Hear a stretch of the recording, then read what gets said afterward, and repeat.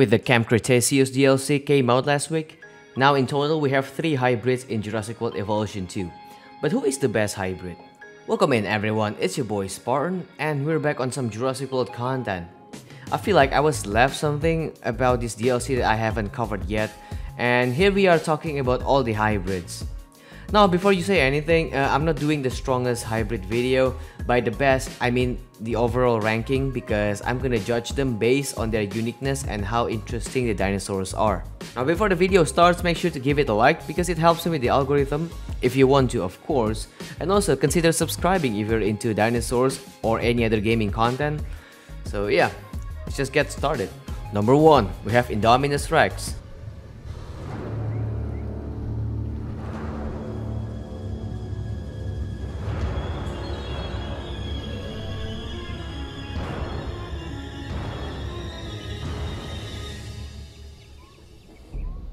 As the first hybrid introduced in the game, everyone already knew by now the dinosaur is massive and can camouflage, which is the only dinosaur that has the ability.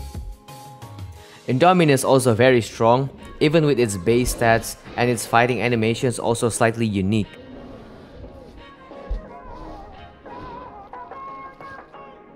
I say slightly because it doesn't really stands out but quite noticeable.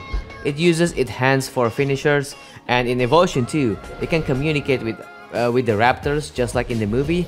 Uh, by the way, the update came out with Camp Cretaceous last week, so it's just like a new addition to the game. Design-wise, it's a bit carnivore, but that's it. It looks pretty, but it's similar with other dinosaurs. I mean, sorry, other car carnivores. It has uh, it has some quills behind its head, remind me of those uh, Jurassic Park 3 Velociraptors, but yeah, those are very similar reference to that. Number 2, we have Indoraptor.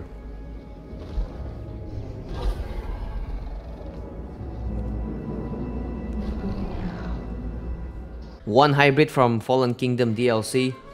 Indoraptor is a medium carnivore that can engage with small carnivores. Its animation is very unique against almost every category of the dinosaurs, since Indoraptor's body proportion is different from the others. This is one of the kind dinosaurs in my opinion, it's a quadrupedal dinosaur but can go bipedal on certain occasions. Indoraptors also attacks flying reptiles if they're close enough and if the animation is triggered of course. Unlike Indominus Rex, Indoraptor doesn't get along with anything unless with the other Indoraptor. Or maybe Compsognathus, but no one has actually have interactions with Compsognathus unless uh, it's a small carnivore. And last one we have Scorpios Rex.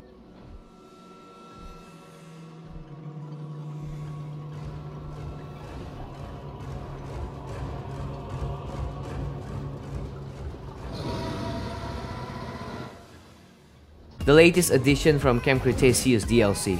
Scorpios Rex is different compared to other hybrids since its offensive weapons are the tail and the venom. Yes, similar to Troodon, Scorpios Rex can poison other dinosaurs upon contact. Its animations is unique against medium carnivores because it's a loop animation that looks like a finisher. You know, uh, it dropped down the Allosaurus in this video and yeah, but it's, it's pretty unique though in my opinion and also interesting nonetheless. Looking at Scorpios Rex's design, I'm not a fan of its design honestly, it looks ugly, its hands are abnormally long, but it has some pretty nice skin options though. So there were the three hybrids we have so far. When it comes to uniqueness, they have their own uniqueness, as cliche as it sounds. but my favorite is still Indoraptor. Maybe it's because their interactions with other dinosaurs are just very interesting, but again, this is a subject subjective take since I don't really care about skins, so my main focus is on the animations. But what do you guys think? What's your favorite hybrid out of those three? Let me know in the comment section down below and don't forget to give it a like if you like it, give it a dislike if you don't, and I'll see you guys later. Goodbye. And also, huge thanks to all the members that keep supporting the channel, especially tier 2 and tier 3. Uh, really means a lot to me, it keeps uh, me growing the channel a little bit more. So yeah, I'll see you guys in the next video. Peace.